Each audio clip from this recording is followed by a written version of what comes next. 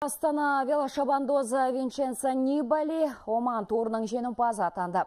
Бүгін вело көп күндік мәресіне жетті. Финалдық кезеңде Катюша командасының өкілі Норвег Александр Кристоф бірінші келді. Екінші болып мәресі заған Джент Альпекин командасының спортшысы бельгиялық Зика Вейтенс кесті. Ал Винченцо Нибали 21-ші болып жетті. Алайда ол жалпы есепте бірінші орнын сақтап қалды.